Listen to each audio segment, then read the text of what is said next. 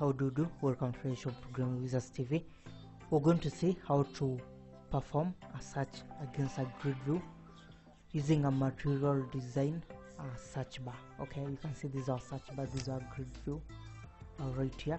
So say you want to search we just come click right here you can see uh, then of course we have the hint right here.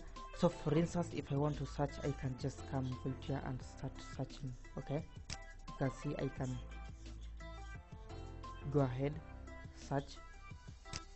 Uh, right here. Then if i get or if i click it you can see we're able to get the item that we've actually uh, clicked. Then of course say you can see right here we're able to search then get the item that's been clicked okay? So this is what we're going to see. We're using a search bar. This of course is a search bar right here. We're displaying it inside our app bar layout okay? So just below of course our toolbar.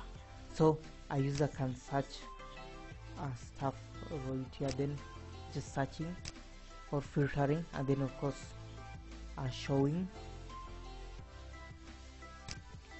uh, our search bar of course in our toolbar right here. So that's it. This is what we're going to see guys. Let's get started. So guys the first thing we're going to create our project here's my android studio of course i have the project. Mine i've called search by grid view. So go ahead type your application name. Then the api let's go ahead and choose api level 16 because the search bar we're going to use a third-party library that's going to require uh, Android Jelly Bean and above okay? But of course there's no problem. You can see right it supports 99.2 percent. That's a lot of devices. Then we come for templates we're going to start with the basic activity right here. The basic activity this is going to give us of course a toolbar okay? Right it's going to give us the app bar layout onto which we're going to add a search bar okay? Remember we're going to need this our search bar to actually get displayed uh, right here in our app bar. So let's go ahead choose the basic activity right there. Then of course click next click finish. This is going to generate two activities. Activity main which is the main activity as well as the content uh, main. So go ahead create the project. For us the first thing we're going to first because we're using this uh, search bar a like third party library let's go ahead and open these two particular gradle files okay? The first one this of course is our build.gradle the project level. So what should if you open it of course we're going to see the jcenter which is the default repository. We're going to add another one right here which is the maven okay? Then of course we specify the url this is where our library is going to be fetched from. So please go ahead add it. If you don't add it your project is not going to be able to find that particular library you're using. Then we come to our build.gradle of course the library we're using right here is our material search bar the material search bar you guys saw it. In our example this is the library we're using is going to be fetched of course from jitpack.io then of course we just have the these other dependencies also the app compat for instance our main activity is going to be deriving from the app compat activity. We have the constraint layout right there. We also have the design support library. So that's it. Those are the stuff those are what we do inside our build.gradles please do not forget to add or specify this particular repository because that's where we are fetching our stuff so yes let's move over to our layouts. So next let's come right here to our layouts okay? Of course it's a simple project. You can see we only have one activity. We're not adding anything special in our manifest inside our layouts we have the two activities that were generated for us. The activity main.xml which of course is the template layout okay as well as the content main.xml so what we need is very simple right here. Inside the activity main these are template layout. At the root we have the coordinator layout okay. Then inside it we have the app bar.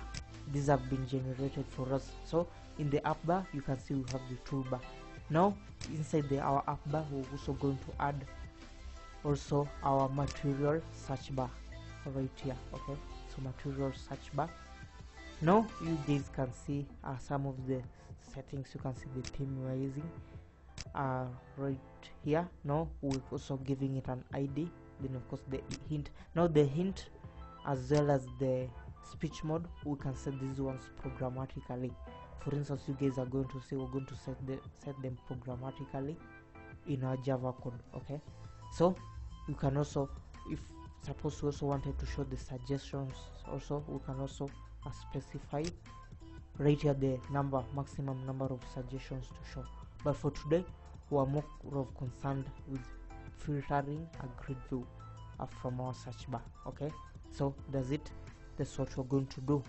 Inside our content main.xml of course we're going to add a grid view. Main i normally prefer to use a two column grid view so i'm going to give it two you guys can leave it to three which is the default. We give it an id and that's it. A layout width as well as the layout height. These are going to match the parent okay? So next we're going to move over to our main activity alright so we come right to our main activity. This is the only class we are having inside this particular project. This is a very basic project. Of course the main activity is going to derive from our app activity. Then set content view. This method here is going to inflate our activity main.xml you guys notice that in the activity main we did include of course our content main. Okay?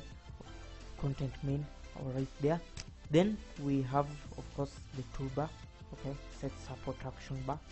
We first reference the toolbar then pass it inside this particular method. Now uh next let's come create our grid view okay? So we're going to reference our grid view from our layout specification. So find view by id r.id.m grid view. This is going to give us our gv which is our grid view. The same thing with our material search bar. Search bar find view by id r.id dot search bar. Okay? Then of course we cast it to our material search bar. So come we can set some of the properties. For instance the custom hint the speech mode we can set it to true. Then of course we're going to create a simple array list that's going to hold of course the data that we're going to show in our grid view.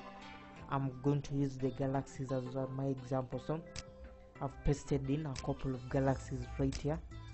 These are the my data okay? These are the ones i'm going to show uh of course in my grid view. So next we're going to create our adapter. So the array adapter is going to help us in two things. First is going to help us in binding of course our data this particular list binding it of course to our grid view. And secondly it's going to help us with filtering of data okay so it has an inbuilt filter method that we're going to call which is going to help us in filtering data efficiently. So we first instantiate it array adapter adapter equal to new array adapter. Of course this which is our context then android.r.layout.simple list item 1 that's the layout okay? Of course um, it's an inbuilt layout that comes of course with the android sdk here so we just uh, reference it here from android.r.layout then of course our data source which is our galaxy. Galaxies. So gv.set adapter we pass in our adapter. That's it. That's how we're going to bind our data to our grid view. Okay? So next we're going to see how to add the uh, we're going to text change listener. So search bar dot add text change listener we want that as the user types the data in the search bar we want to automatically filter. So yes we pass in an instance of our text watcher right here. Then of course we're going to override these particular methods. You see before text changed then on text change and then after text change. Of course we are interested in the on text change the real-time filtering. As the user types we filter in real time.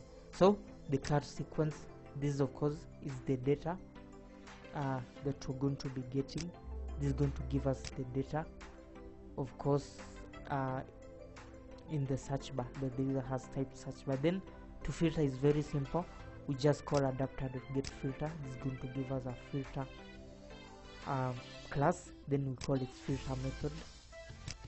Then we just pass in of course the query which is in this case we're having right here as the char sequence. This of course is the query that the user will have typed in the search box okay or in the search bar.